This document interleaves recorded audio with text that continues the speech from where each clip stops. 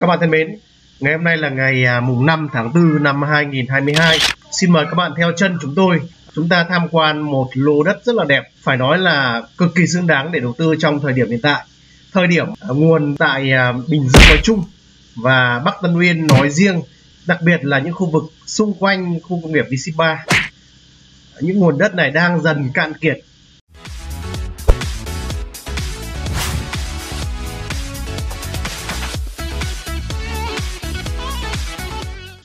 Vậy thì lô đất này là lô đất như thế nào? Thì các bạn có thể tham khảo trên màn hình của các bạn.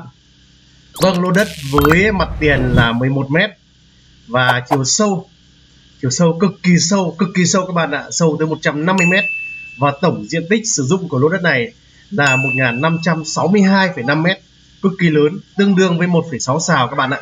Thế thì tại sao chúng tôi phải quay kỹ chi tiết về lô đất này? Đấy, các bạn có thể nhìn phía trước chiều sâu của chúng ta 150m là đến tận dãy cao su ở phía trong cùng. Và bên hông bên hông bên phải của lô đất là nằm ở phía bên tay phải của các bạn. Đây, lô đất bám mặt đường đá. Và các bạn thân mến, thì lô đất này là được tách ra từ một lô đất lớn. Và hiện tại thì khu vực này có tổng là 8 lô đất. Thì trong đó là có 4 lô thổ cư và 4 lô chưa thổ cư. Đã có đường hiển thị, đã có đường điện và đã có người dân ở. Đường này là đường thông các bạn ạ. Đường thông đường nhánh trong đường à, Tân Định 55 vị trí lô đất cực kỳ xứng đáng để đầu tư. Và từ vị trí này thì à, bật mí với các bạn. Chúng ta di chuyển ra ngoài mặt đường DT 746 đâu đó khoảng 1,5 km đường thông cả hai hướng các bạn ạ. Và giá bán chúng tôi bật mí luôn ở đây là 1 tỷ 520 triệu. Các bạn có biết là 1 tỷ 520 triệu cho một lô đất với diện tích 1562 m. Có nghĩa là chúng ta chưa mất đến 1 triệu đồng trên 1 mét vuông cho lô đất này. Hoàn toàn lên được thổ cư, các bạn có thể lên bất cứ lúc nào. Trong bối cảnh nguồn đất đầu tư F0 ở Bình Dương nói chung và những vùng đất xung quanh khu công nghiệp VC3 đang cạn dần thì những mảnh đất với mặt tiền trên 10 mét, cụ thể ở đây là 11 mét đang nổi lên như một phân khúc hấp dẫn các nhà đầu tư từ khắp mọi nơi đến đó là Sài Gòn, đó là Dĩ An, đó Thuận An hay là thủ đô 1. Còn bây giờ chúng ta sẽ di chuyển từ lô đất này ra ngoài mặt đường DT 746 ra ngoài mặt đường Tân Định 55 xem mất bao lâu và trên đường đi có vướng mắc cái gì không các bạn nhé. Xin mời các bạn theo chân chúng tôi.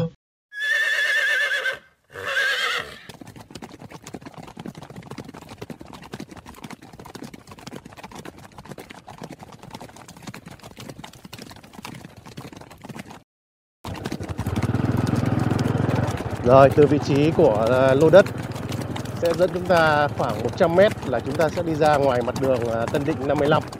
Đây, mặt đường Tân Định 55 là đường thông. Tất cả đây đều được được thông hết các bạn ạ. Đường đường đất.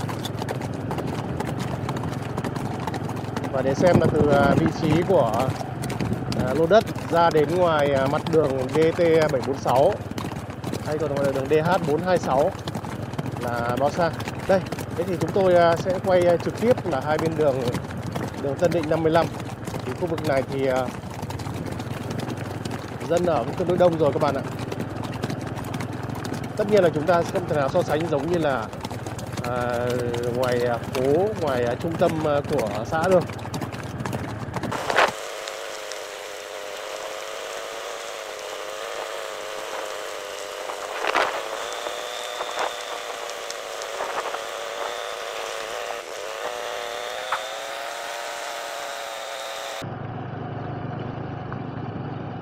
tức là từ à, vị trí miếng đất mà chúng ta di chuyển ra ngoài đường à, mặt đường DD746 đâu đó cũng chỉ khoảng 1,5 km thôi.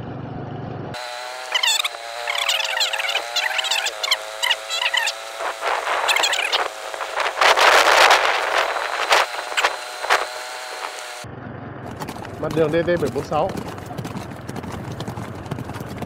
Bên tay phải sẽ dẫn chúng ta đi à, sang Tam Lập của Phú Giáo. Và từ đây sang đến Tam Lập, tức là đến à, khu công nghiệp Tam Lập của Phú Giáo thì cực kỳ là gần. Và bên à, tay trái của chúng ta sẽ dẫn chúng ta về trung tâm của xã Tân Định, về thị trấn Tân Thành.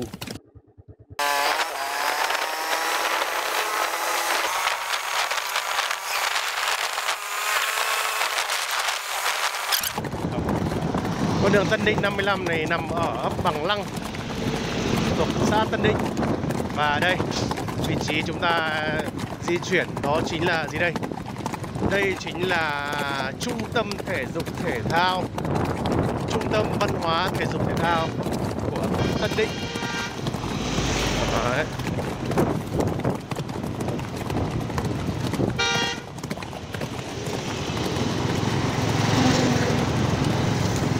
chúng ta di chuyển đến chỗ này chính là gì? Là trung tâm của xã Tân Định nghĩa là đây là sẽ có đây chúng ta sẽ gặp cái gì đây? Chúng ta sẽ gặp à, trạm y tế. Rồi à, chợ. Chợ Tân Định là chợ mà chúng ta vừa đi qua.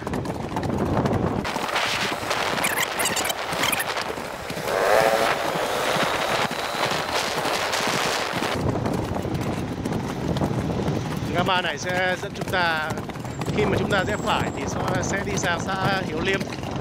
Và từ Hiếu Liêm chúng ta sẽ đi qua Đồng Nai rất là thuận tiện. Đây đây chính là vị trí trung tâm xã Tân Định. Bên tay phải của chúng ta đó chính là chợ Tân Định.